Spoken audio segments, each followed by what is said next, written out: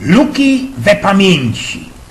Wiesz, pano jeden istny do swojego. Mój doktor mi powiedział, swoją dupne luki we pamięci.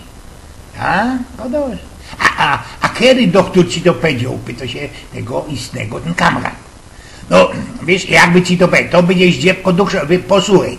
Wiesz, kajsik tam w Europie jest taki gryfny kraj, kajś jest zawdy gorko, są gryfne dziołchy i, i... Ja, ja wiem, wiem, Jugosławia, prawda?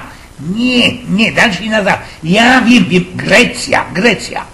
Ja, może prawie, Grecja istny. I tam ci żył taki srogi poeta, jakiś jezder, kusie, jak ci go mianowali, jak ci go mianowali. Homer, podpowiadał ten kamrat. Ja, ja, moż prawie, to był Homer i on ci napisał, był coś o takiej srogiej wojnie i pieronym długim wędrowaniu do dum. No ja, no, napisał Iliada i Odyseja. Ja, ja, ju, ja się już pomyliłem, to było o tej wojnie trojańskiej, prawda? Godo tym istny, a ta wojna trojańska to była z kuli jakiejś baby, prawda?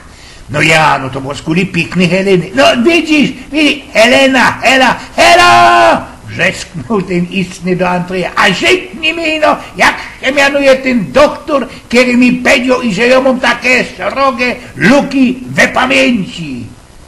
Bo naisto można to i prawda, i że to los zawiero nam blank przed sznupą. Jedne dźwierze, co by zaroski zaś łozewrzyć drugie.